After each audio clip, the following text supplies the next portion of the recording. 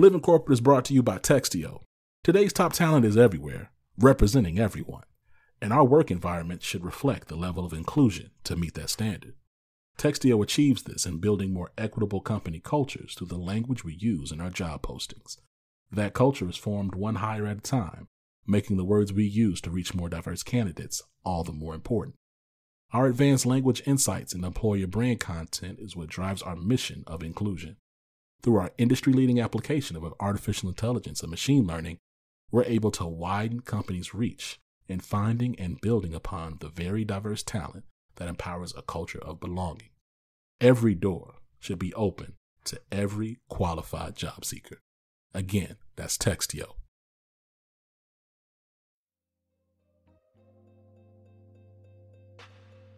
Hello, hello, and today um, on the group chat on Radical Change with Vonda Page, what I'm going to do is I just want to take a couple of minutes, right? And I want to talk about um, the importance of motivation in the context of not giving up. So I think that when you think about not giving up, there are so many different ways to think about it. And one of the ways that I think about not giving up is particularly when it comes to knowing that you have a goal you want to accomplish, knowing that there is something that you want to do, knowing that you have a very particular, a very special, a very specific thing that you want to accomplish. And no matter what, right? Still moving forward towards accomplishing that thing, even when it gets difficult, even when you feel like giving up, even when it feels really, really challenging, even when it feels almost impossible, you still, you still want to give yourself that inside, I want to say that Eminem motivation, right? That internal motivation that makes you say, I'm going to pull it out. I'm going to pull this out and I'm going to do what I need to do to not give up. And I feel like not giving up is like the mission. I feel like the mission is not giving up because I feel like not giving up, right, expands across how you think about doing anything, right? So if I think about like right now, right, I'm on a mission to get back in shape. And so for me, getting back in shape means like I can do 25 push-ups at a time smooth without like right. I get to 25 and I'm like, yeah, right. I can do a hundred squats smooth, right? I can do, you know, one leg um pivot squats smooth, right? Eight on each side, up and down, right? So like I have these in my mind, right? Goals that I have. Now, I was trying last week or yesterday, Sunday, I was working on my push ups and I was kind of disappointed that I couldn't do as many as I thought I could do. I think I only got to like 16 or something like that.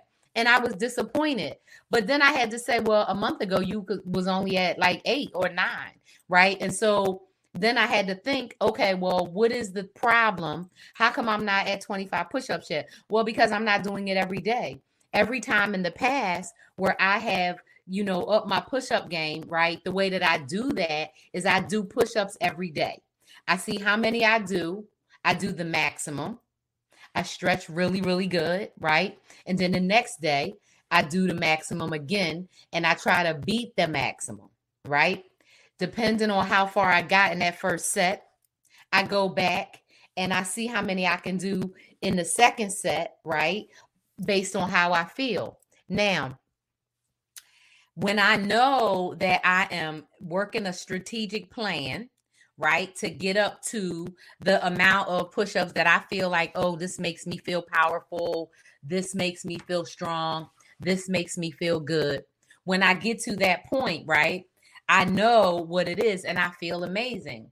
Well, between then and now, I know what amazing is going to feel like, but I also know it feels easier to give up sometimes because who feels like doing push-ups because they hurt right and trying to do them the right way and then you know i have these nails that are getting kind of too long because they grow fast And so, like, you know, all of these little things that really don't have anything to do with it. But what they can do is number one, they can distract. So when you're trying to not give up, right? And you're saying to yourself, I'm not going to give up. And you're going to take the advice of don't give up. The first thing that you have to recognize is that part of not giving up is don't let things distract you, right? And so I could get distracted, or I have been distracted from the push ups because I was worried about working on my glutes because I'm trying to look cute in some pants. Okay. So, like, that's the confession. So, I wasn't really working on the push ups because I'm not really worried about how this part looks, but I want to look a certain way in my pants. And I know that if I focus on a certain type of exercise over a, you know, 30, 60 day period of time, I know what the result is going to be because I've done it before. And so the same determination that I'm deciding, like, okay, well, I'm determined, right, to, you know, make sure my pants look how I want them to look, you know, in, in 45 days or whatever. I can make that same determination about how many push-ups I'm gonna do, right? And I can reframe how I think about the push-ups, not just in being strong, but like, okay, well, maybe don't I want some cock diesel, you know, biceps, right? And I want tricep definition and I want some shoulder definition, right? Or and, and some pectorals. So I could like do that, right? But the the moral around, you know, um not giving up and being determined, right, is that you can be distracted from that thing, right? And so when you tell yourself, okay, I'm not going to give up, right? You have to not let distractions get in the way. That's number one. The second thing is, I think that it's about not letting detractors, right? Detractors get in your way, right? So people who are going to, you know, talk nonsense, people are going to, um, you know, be down on you negatively, you know, in terms of like, oh, I don't think you should do that, or like, you know, saying things to you, like telling you how things sound. See, I feel like anybody who is for you, anybody who is on your team, anybody who really cares about you, they are going to help you. And they really going to help you. They're going to support you. They're not going to half-ass do it, but they're going to help you in their way. This is not saying that they're going to be able to devote, you know, 40 hours a week for the rest of their life helping you out. But I'm talking about they're going to be there for you. When you when you are like, "Dag, who do I have or who can I count on?" You know that's a person that you can call. Now, whether or not they have the capacity at that time, that's something different, right? So, those of you who know me know that I talk about the seven C's or seven certainties to secure change success. And I want you to think about change success about in the standpoint of transformation or transition management, right? Because change is something that we necessarily we can't manage it even though we can control how we interact with change and often, right, we can control how we decide to interact with change. The thing is how we how we experience it and how we go into it. And so when it comes to what I call the seven certainties of change, right? I break them down into these seven areas. And so, depending on the type of transformation, depending on the type of challenge, and depending on where you are, right, individually, where you are in your development, in your growth, right, in your journey, that's how you're going to be able to address it. So, real quick, I'm going to give you the seven certainties of change and break them down real quick. And then we're going to talk about them in a little bit more um, detail around not giving up and around determination. So, the seven certainties are what I believe that when they're in place, they help to make change suck less. So, change, right? We are all naturally predisposed to dislike change, to resist change, to, you know, um, in every way, right? Right, maintain the status quo. And that is a perfect example, right, as to one of the reasons why, right, we are struggling right now in terms of trying to get people to understand what the status quo is uh, understand what what the change is right and to adapt to it because they refuse to so let's take for example the fact that we all know that there are more, right? um black, Latina, uh Asian um and indigenous people in America than white people. We know that it is. We know that it is, right? But where are the black people and indigenous people and the poor brown people, right? They are not being counted because they are either incarcerated or classified as an undocumented um, undocumented worker or an undocumented immigrant or something like that. But we already know that. And the reason that we continue right along this trajectory, right, is because people don't want to adapt to change, right? So people like comfort, people like the status, people like to stay where they are, people like to be you know, in that sweet spot of comfort so that they can just roll on. But when we're in that sweet spot of comfort, we don't grow. And if we're trying to, right, um, at least advance beyond where we are, whether it's intellectually, emotionally, physically, emotionally, Uh, financially, I said emotionally, right? It doesn't matter. When you're trying to make a change, when you're trying to do something, you have to put in some effort. So back to me with the push-ups. Push-ups hurt. They hurt. Until you get really good at them, they hurt. And even when you get really good at them, when you start doing variations of push-ups like the diamond push-ups or the out push-ups, or you start varying your leg positions or your hips, like like like you push-ups hurt. But in that discomfort, you grow, right? So you grow in terms of the muscle fiber, right, that you get, right? But you grow in the endurance that you can do more push-ups the next time. You can more do more diverse push-ups, right? So like now I'm gonna test it out today and see how many diamond push-ups I could do. Because I think last week I could only do maybe like, I don't know, eight or something like that. But diamond push-ups use a different part of the pectorals. They use a different part of your back, right?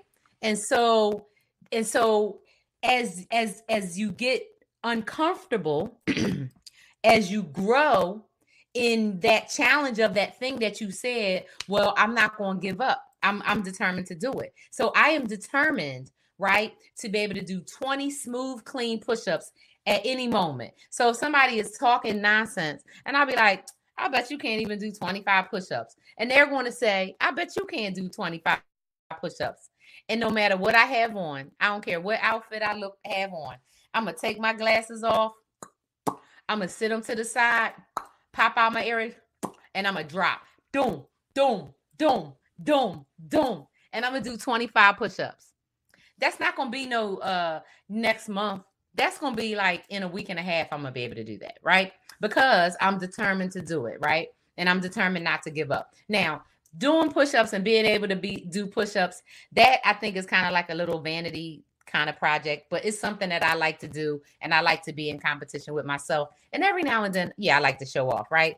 And what what better way than for a 53 year old woman to show off by doing 25 push-ups like at the drop of a hat. Like like that's like some Michelle Obama type boss shit right there, right? So I like to be able to do that. Okay, so back to the 7 Cs. So when you are, right, thinking about making sure or trying to adopt that thing that you want to get to do, that you want to build a habit of doing, the thing that you want to transition to, the thing that you want to be doing, right? And know how to do it. In order for you to do that, right, you need some things put in place for it to really happen. Now, the harder the thing is, the more of these things are necessary.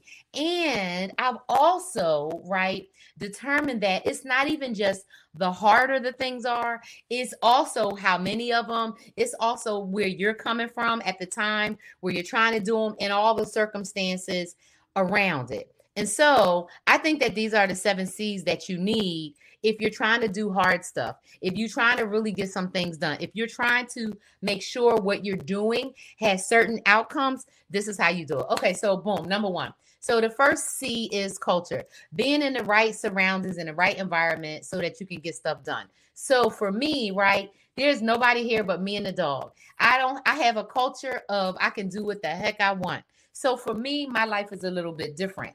Now, if I had toddlers and homeschooling, how the heck would I have time to learn how to, to, to do 25 push-ups? I don't think I could. I don't think I could, right? Um, if I had a family that was a super like on the go family and we were never home or still or or something like that, maybe I wouldn't, right? There's a whole lot of things that could depend. But culture is like everything in your surroundings, everything in your environment to support what it is that you're trying to do. So if it's a culture of fitness, do you have the time? Right. And is everybody around you into fitness? If not, then it's going to be more difficult. Number two, right, is the capacity. Do you have the capacity to undertake a change? That means do you have the time and do you have the space and the resources? Now, uh when my house was being painted and the carpet and everything was being done because I had a whole disaster in my house last year, I did not have the capacity to be doing push-ups and any kind of fitness in my house. I was going to the gym rarely, but not that much because my house wasn't set up and I didn't have the mental capacity that much to even go to the you know to the gym that I wasted like a year membership on while the house was getting redone, right? And so now, right, I have three workout areas, right? One for um to spin, right, and, and kind of do meditation and that kind of thing. I have my other area where I do like you know my Bosu and my Pilates, you know, and weightlifting, right? And then I have another area, you know, where I mostly do uh, you know, yoga, stretching, you know, um, foam rolling and all that kind of stuff. And once um the garage gets cleaned up, I'm going to have a gym in the basement. That's going to be a boxing gym. That way all of that will be concentrated. But the point is, I'll have the capacity. So not only is the culture already there, but I have the capacity, the time, the space, the resources, all of the stuff necessary to be able to get into whatever kind of shape I want to get into. And I like to call it boxing shape. Boxing shape to me is when like your muscles are defined and you can really like see you know like you could see you could see muscles and i like that so that's the shape i'm going for and so in order to do that i'm culture boom done capacity in the works i have enough but it's, it's getting built up right i can build that and you can build capacity number three right? A coalition of people around you to help you, right? Um, I, I have a coalition uh of people, right? But I don't need a coalition for those two things because I already have those under wraps. Now, if I was struggling in certain other areas, which I can give tons of examples, but in this example, I don't need a coalition. But let's say I was trying to run a marathon, I probably would need a coalition. Let's say I was trying to do senior Olympics, I would need a coalition if I ever decide to get back into tennis, USTA tennis, oh, I'm gonna need a coalition because I'm gonna need a coach, I'm gonna need a trainer, I'm gonna need a doctor, I'm gonna need a nurse, I'm gonna need Brittany. Like I'm gonna need a lot of people. And so, right, it depends on what the transformation is. It depends on how big the transformation is. It depends on how transformational the transition is or the transformation. Okay. So you have your culture, you have your capacity, you have your coalition. If you have those three things in place, or those three things, right? Then you also next talk about competence. Competence is do you have the skills? Do you actually know how to do the thing that you're trying to do? And competence is where people fall off. Competence is why I had a job for 30 years and why my friend Megan has had a job for many years, right? In organizational change management, because people are not competent when it comes to helping people adopt change, helping people adapt new habits, new ways of working, new ideas, right? And and and all of that we could talk about that in in so many more ways, right? In more details. But, right? that's a whole nother piece. So competence is huge. It's huge, right? So you have culture, right? You have capacity, you have coalition, you have competence. But when you have those four things in place, I'm telling you, the next thing is to make up your mind that yeah, you're doing it. And so that's conviction, right? Conviction is boom, here's where I'm going. Conviction is I'm calm. I'm good because this is what I'm doing and I have made up my mind. That's where the don't give up is. It's like I'm convicted and I can be convicted because I have all this other stuff. Right? Makes sense? I got all this other stuff. I got I got all that. I can be convicted. So now, now here's that here's that doom doom doom doom doom doom doom doom doom doom doom doom right here's the Eminem right here is the you know, till I collapse, right? Here is here's eighth mile, right? Here it is. You courage. That's it. Now it's it's time for you to do your part. Your part is diving in. Your part is is is digging in. Your part is leaning in, right? Your part is courage, right? And then after that, the last thing that's left is commitment. And it's it's sticking to it. And the sticking to it is I'm gonna do it no matter whether the distraction. I'm gonna do it no matter whether the doubters. I'm gonna do it whether you know or not. I got you know um dastardly uh demons right? Hunting me down, right? It's saying that I'm going to be determined. Now, whether that determination is out of motivation, inspiration, you know, um aspiration, I don't think that part matters, right?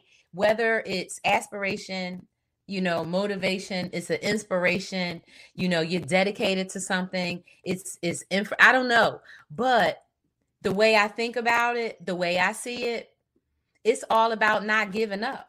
And it's all about going back to like to me that's what radical is right? And the change is is going back to saying i'm not going to give up because i don't care what the situation is right? Somebody or something whether it's up here or whether it's out here in the universe, right? Somebody or something is telling you you can't do it. Somebody or something is telling you you shouldn't do it, or maybe this, or maybe that, or or this and that and the other, right? This, that, and the third, right? And so you get to decide, right? You get the opportunity. You get to say, well, this is how I'm gonna show up. You get to say, this is how I'm gonna roll. You get to say, this is what I'm gonna do. No matter what, you still get to do that. Now, of course, you can't control all the outcomes, but I'm a damn sure tell you if you put in those seven C's in place, right? If you have really done some serious examination on your own beliefs, right? And the impact of your beliefs, you know, on your character, right? Which is how you show up in the world. If you've done some of that work, I feel like this thing is not that bad. I feel like it's not that bad, you know? And so I want to, you know, encourage you today that you know, no matter how challenging things are, that you don't have to give up, right? I want to encourage you that you don't have to worry about the distractions.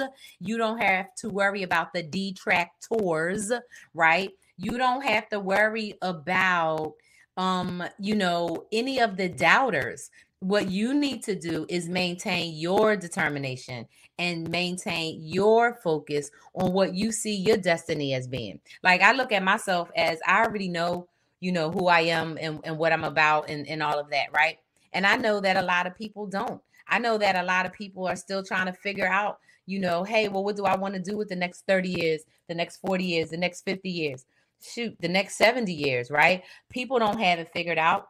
Um, and it takes a while and sometimes you know we do know what we want to do but we just don't know how to do it. And so i kind of look at that's one of the reasons you know that i'm here right on this earth is to help people you know ask themselves some tough questions and maybe help people you know get answers. And so um i just want to say today right that um you know it is super right important to you know to be determined right? And it's super important to you know realize that not giving up on whatever that thing is that you feel is key that you feel is core right? That you feel is critical that's going to align with who you are as a person. And so when i just when i think about myself i'm not going to give up when it comes to alleviating anti-blackness and helping people un- unlearn that whole system.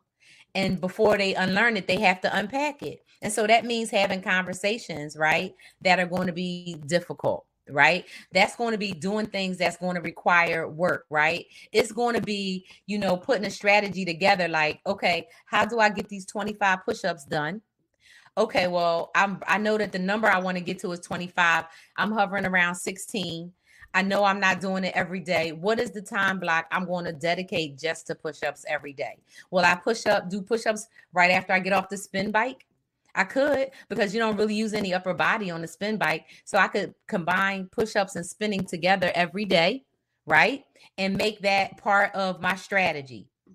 That's a really good idea. The other thing I could do is I could combine it with stretching, which I do all the time. And since I'm already on the floor when I'm stretching, I could really combine push ups with foam rolling and stretching, right? But it's a matter of not giving up on what I want the end result to be and knowing, you know, I do have time when I want to have that done by, right? Like literally, I want to, you know, um by uh August 27th, right? I want to be able to do 25 smooth push-ups. That means I have 12 days.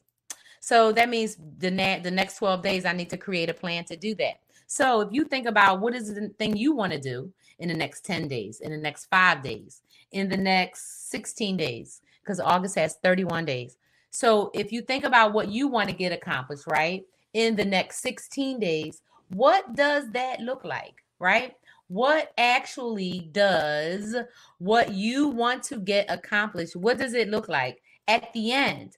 And then let's backtrack on that, right? What is it going to take for you to do it, right? The other goal that I have done that is actually by the 25th, so I have 10 days left left on that, right? Is to get all 30 um, episodes of um, when white people have had enough to get all 30 episodes uploaded by them, right? Um, I think I'm at like 17 left to go, right? And so it's a matter of, right, not giving up. So that's all I got, y'all. That's all I got for today. I have don't give up, right? I have be determined, right? I have don't let doubters, um, don't let distraction and don't let detractors, right? Don't let any of those things, um, right, uh, keep you from doing what you need to do. Don't let any of those things keep you, right, from determining your own destiny because you can do that. Now, I'm not saying um, that you're not gonna have problems. Uh, 53 year old black woman, not telling you that you're not gonna have problems, that you're not gonna have issues, that you're not gonna have discomfort, that you're not gonna have challenge. But what I'm saying is, don't give up on anything, no matter how hard it gets, no matter how bad it gets, no matter what. Right? Just don't give up on your goals.